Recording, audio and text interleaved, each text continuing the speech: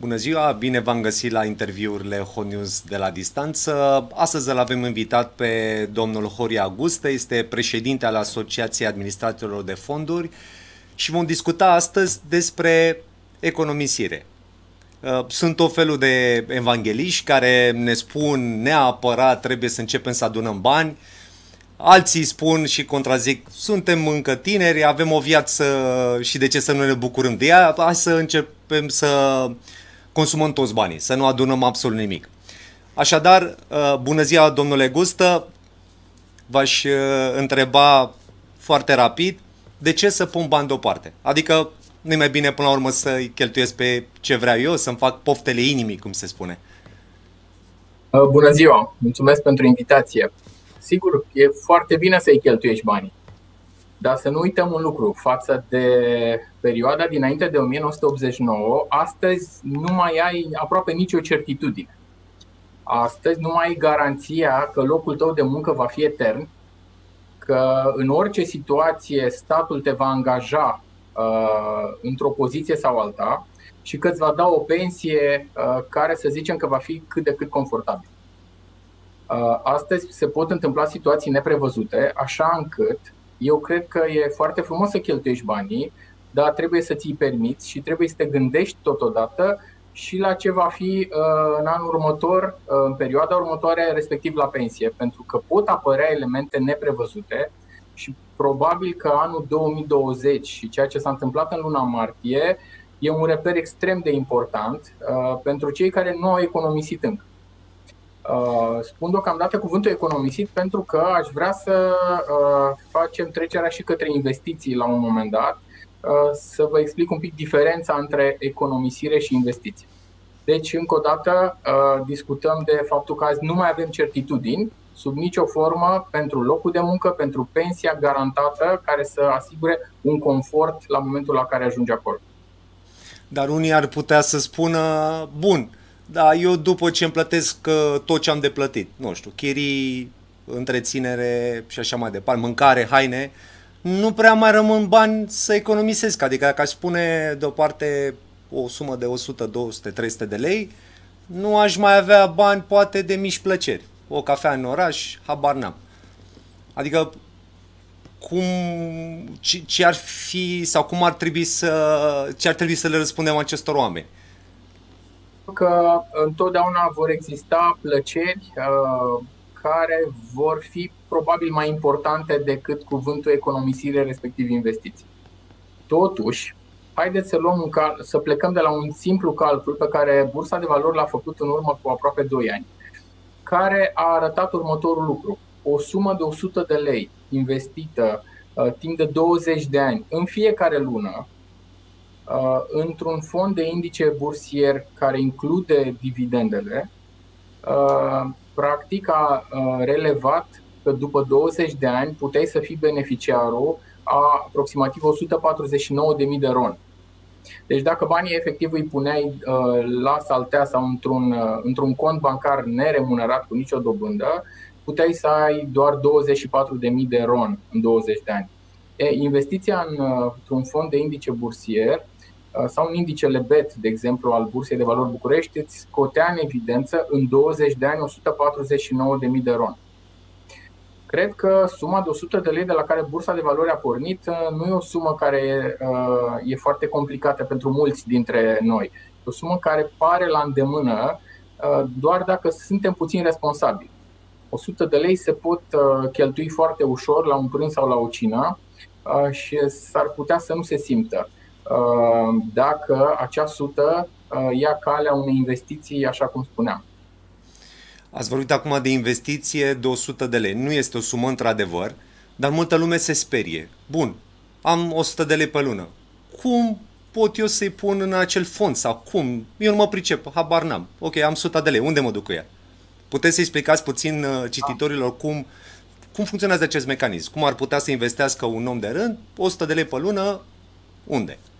Uh, toți administratorii de fonduri din România au uh, ori canal uh, online pe care îl pot accesa, ori canalul bancar unde pot merge și să facă acea depunere. Singura condiție este ca prima oară suma să reprezinte minim o unitate de fond, să zicem că e aproximativ 200 de lei, după care suma este absolut la modul liber pentru a fi depusă. Deci există canal online pe care administratorii de fonduri le au, respectiv există canale bancare pe care administratorii de fonduri le au și le pun la dispoziția investitorilor. Deci te poți duce la o bancă care distribuie unități de fond sau poți accesa canalele, canalele online ale administratorilor de fonduri. Accesul este destul de facil, nu e nimic complicat în afară de un buletin pe care trebuie să-l ai la îndemână și un cont bancar pe care trebuie să-l ai și să completezi un formular inițial, nu mai trebuie să faci absolut nimic. Deci accesul este facil. Administratorii de fonduri ce fac? Iau banii și îi plasează în numele investitorilor, uh, luând în calcul faptul că banii sunt pe numele investitorului. Deci întotdeauna banii uh, sunt pe CNP-ul investitorului, nu intră într-un coș uh, care unde să se piardă urmă. Deci fiecare investiție, fiecare sută de lei, fiecare sumă de bani investită într-un fond aparține persoanei respective care realizează acea, acel plasament acea investiție. Cât de sigure sunt aceste plasamente? Mă gândesc că sunt oameni cititori dintre, dintre noi care la un moment dat vor zice, bun, dar dacă cotizez 15 ani, să spunem, și mă trezesc că fondul respectiv sau nu știu, s-a întâmplat ceva și banii mei au dispărut. Există o protecție a investitorului? Există foarte multe protecții. Industria de administrare de fonduri din România, în primul rând, este aliniată la toate normele legale europene Uh, și de aici uh, și românești. De aici, practic, uh, lucrurile stau așa. O societate de administrare de investiții care administrează un fond are o paletă întreagă de oameni și de instituții care se uită la modul cum se administrează acei bani.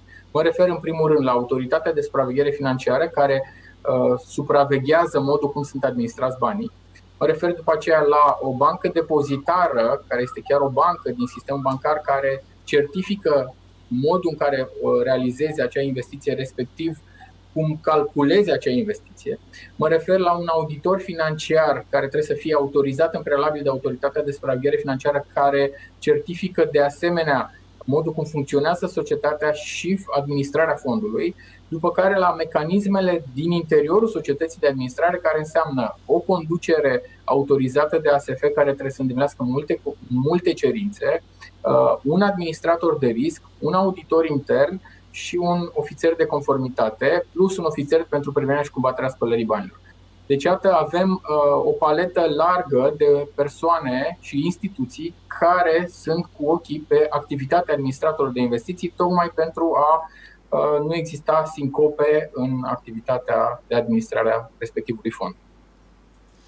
Se spune că este bine să ne educăm copiii mai nou uh, și în chestiuni legate de economisire și chestiuni financiare, să le numesc așa. Uh, Există cazuri în care părinții cheltuia absolut toți banii și copilul ce vede aia face. Adică și el la rândul lui primește bănuți de la bunica, de la părinți, în loc să economisească, îi cheltuie pe toți. La fel, odată cu criza care a venit astăzi, în, nu astăzi, începând cu luna martie în România, au fost foarte multe persoane care au rămas fără loc de muncă, aveau eventual niște credite și nu aveau nimic economisit. Acum, întrebarea este simplă. Cât de importantă este educația financiară? Și educația financiară odată la copii, dar este oare târziu să mai educăm și persoanele mai în vârstă din punct de vedere financiar? Cum să economisească și așa mai departe? Adică cât de important să învățăm puțin niște mecanisme simple prin care să încercăm să economisim niște bani și să ne punem banii la saltea cum făcea bunica. Adică bănuiesc că e destul de important acest lucru să înțelegem că economisirea pe care o făcea bunica la, cu banii la saltea la ciorap nu prea este în regulă în zilele noastre, cel puțin. Așa este. Uh, eu cred că în orice moment e bine să te educi financiar. Uh, industria financiară e o industrie care este într-o continuă dezvoltare. Uh, aș pleca de la ceea ce am făcut chiar eu personal, plecând de la uh, studiul pe care l-a de la analiza pe care a făcut-o bursa de valori cu acea 100 de lei pusă lună de lună timp de 20 de ani, am calculat și eu și am procedat în același sens, punând alocația copilului deoparte într-un fond similar și am ajuns la concluzia că la vârsta de 18 ani, plecând de la uh, ceea ce a calculat bursa de valori, pot pune copilului, pot, îi pot arăta copilului că ar putea fi beneficiarul unei sume de aproximativ 45.000 de euro.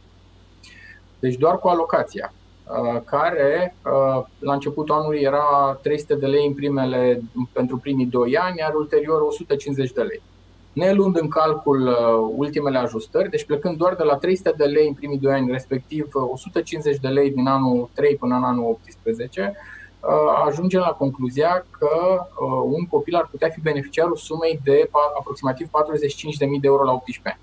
Bani care sigur că pot fi folosiți pentru foarte multe scopuri, începând cu educație, cu un apartament, o garsonieră și așa mai departe. Deci, uh, iată că pot arăta, părinții pot arăta încă de la început copilului ce se întâmplă și ce uh, valoare poate avea o sumă uh, tot așa destul de redusă, economisită, respectiv investită timp de 18 ani. Acum, de ce e bine să investești și mai târziu? Presupunând că n-ai făcut-o încă, vine un moment precum martie 2020 în care dacă lucrai într-unul din domeniile puternic afectate de pandemie și dacă nu aveai un contract valid de muncă, te puteai trezi în situația în care, dacă aveai un contract valid de muncă, erai beneficiarul unui șomaj tehnic care, dacă țină bine minte, era în jur de 2000 de lei. Nu știu ce s-ar fi făcut cei care aveau un venit de 3000-4000 de lei și dintr-o dată venitul se reducea la jumătate. Asta era o problemă.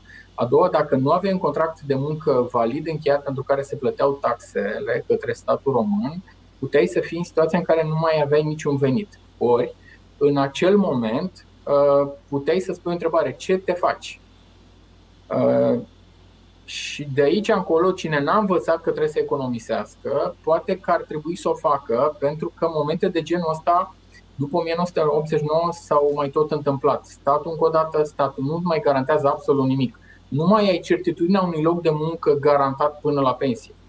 Mâine compania la care lucrezi poate intra în insolvență și cu siguranță mulți, cel puțin din zona Bucureștiului, se pot gândi, da, voi găsi oricând. Nu cred că e chiar așa. Uh, cu siguranță în București îți poți găsi mai repede un loc de muncă decât în provincie, dar nu ai certitudinea că locul acela de muncă îl găsești mâine sau peste două luni sau peste cinci luni și nu mai ai certitudinea nici dacă veniturile pe care le vei avea vor fi la fel cu cele pe care le aveai înainte, când poate ți-ai luat un credit, ți-ai luat uh, uh, un leasing și trebuie să te gândești cum dai banii înapoi. O întrebare acum personală. Dumneavoastră când erați mic, economiseați sau aveați obiceiul ca noi toți să dăm banii pe hobby-uri, pe petreceri, distracție, habar nu am. Și dacă nu economiseați, când ați început să economisiți? Uh, în cursul facultății Uh, pe care am absolvit-o am uh, parcurs și un curs de agenți de valori mobiliare, se numea, brokeri azi, uh, care mi-a deschis ochii cu privire la ce înseamnă economisirea și ce înseamnă investițiile. Motiv pentru care la 22 de ani proaspăt absolvent, odată cu primul loc de muncă, cu primul salariu care a însemnat 300 de lei la banii de acum, adică 3 milioane, 50 de lei la banii acum, adică 500 de mii de lei, am înțeles că trebuie să-i pun deoparte nu ascund că primele luni au fost destul de grele, au fost cu, au fost cu ajutorul părinților, dar acei 50 de lei puși deoparte uh, în următorii ani m-au ajutat să strâng banii de avans pentru o casă, iar uh, după ce mi-am luat casa și uh, am reușit să-mi crești și veniturile, nemai fiind un începător, am reușit în continuare să-mi uh, plătesc și un avans pentru o mașină. Deci pot să spun că economisirea Uh, respectiv investirea, eu am pus bani într-un fond de investiții 50 de lei începând cu vârsta de 22 de ani, m-au ajutat să-mi construiesc avansul pentru o casă și avansul pentru o mașină ulterior. Puteți să spune că dumneavoastră ați fost cazul fericit de tânăr responsabil. Nu, nu că tinerii care aleg să cheltuiască banii sunt irresponsabili, dar uh, totuși e o dovadă de maturitate ca la vârsta de 22 de ani să, să începeți să vă gândiți uh, atât de departe. Cu, cu economisirea și așa mai departe. Pentru că asta cumva are legătură cu următoarea întrebare. Cunosc uh, cazuri personal de oameni care și-au luat case uh, destul de scumpe, uh, mașini în leasing, mașini foarte scumpe uh, și cu toate astea, în unele momente nu mai au bani de mâncare sau de benzină pentru mașina respectivă. Cumva, aparența Acum, nu pot să zic că este o chestie specifică a spațiului balcanic, dar în general putem să observăm lucrul ăsta atâta timp cât am călătorit uh, foarte mult în afara granițelor țării. E o specific, uh, ceva specific zone în care locuiești într-o garsonieră de 40.000 de euro și ai o mașină de 70.000 de euro. Se întâmplă foarte des în spațiul ăsta balcanic, repet. Nu zic că nu se întâmplă și în afară. Și întrebarea este, cum facem în cazul acestor oameni care aparența pentru ei contează mai mult decât orice altceva. Nu se gândesc la nimic, nu se gândesc eventual la viitorul copiilor să le lase o sumă de bani când vor împlini 18 ani. Cum ar trebui convinși acești oameni să înțeleagă că e foarte important să, să economisească? Au fost uh, cel puțin două momente uh, în România, în anul 2008 și respectiv în anul 2020, în care dacă n-au învățat, dacă n-au învățat-o până atunci, cu siguranță după respectivele momente uh, s-au trezit că trebuie să schimbe ceva. 2008 a fost clar momentul în care uh, foarte multe persoane, exact cum, cum spuneai, uh, aveau mașini scumpe în leasing, aveau credite mari și aveau, erau expuși pe zona de imobiliare, imobiliare foarte mult. În momentul acela, dacă nu erai suficient de cumpătat și dacă nu aveai un bani deoparte, cele mai multe cazuri au însemnat, uh, au însemnat pierderi de locuri de muncă, închideri efectiv de uh, multe companii, astfel încât te puteai uh, afla în situația în care nu mai ai niciun venit. E, dacă aveai niște bani puși deoparte, 2009 ți aducea foarte multe oportunități. Puteai să-ți cumperi casă la jumătate de preț uh, și, și mașini la fel, la jumătate de preț față de prețurile care erau cu un an înapoi. Uh, deci, dacă n-ai, n-a învățat uh, populația, dacă nu a învățat ceea ce, ce a însemnat 2008, a venit 2020, deci 12 ani mai târziu, când iarăși în martie, într-o săptămână, practic, uh, s-a închis, nu știu, sectoare întregi de activitate, asigurări, transporturi, tot ce înseamnă Horeca.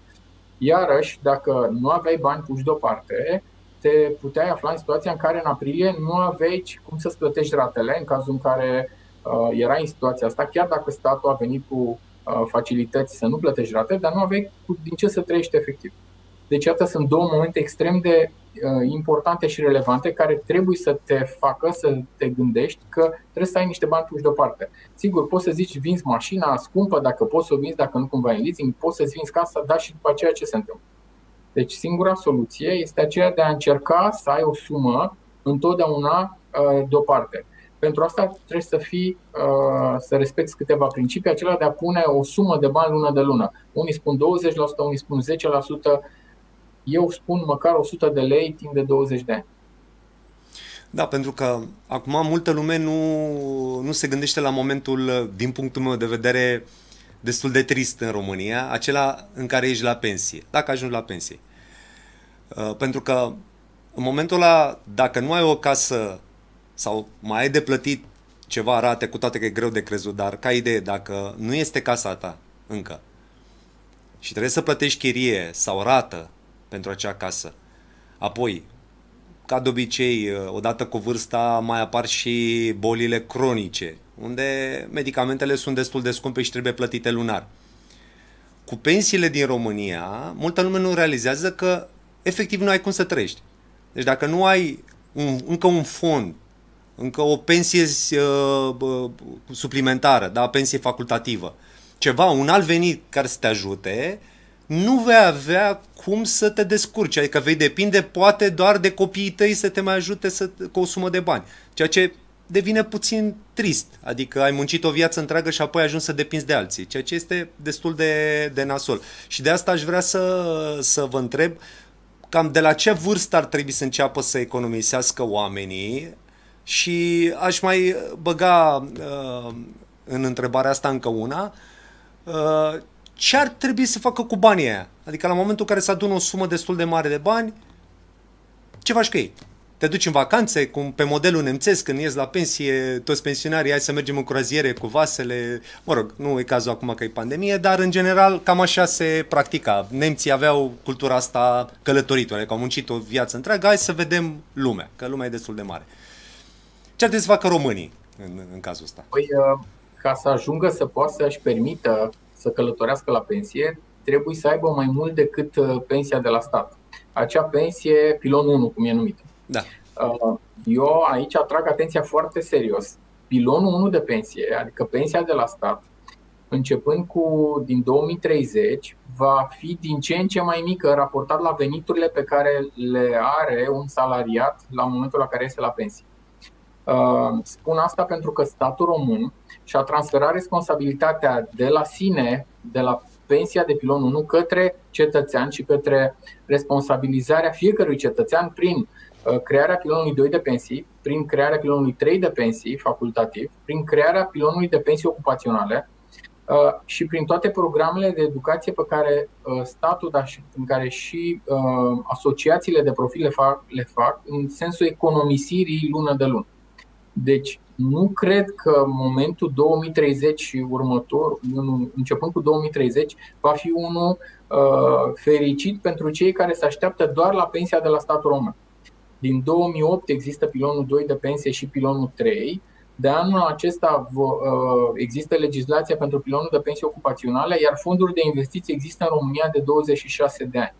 Deci singura soluție este să te bazezi pe propriile forțe și să înțelegi că nu trebuie să aștepți de la stat pensia care uh, să fie echivalentă cu salariul pe care îl aveai la pensie, că aceasta nu se va întâmpla.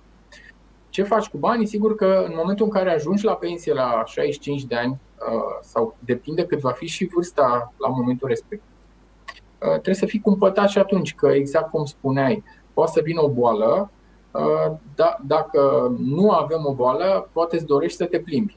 Deci atunci trebuie să fii puțin cumpătat nu se știe iarăși cum apare un eveniment nefericit în care ai nevoie de bani, iar dacă nu îi ai, uh, nu știi cum să o scoți la capăt.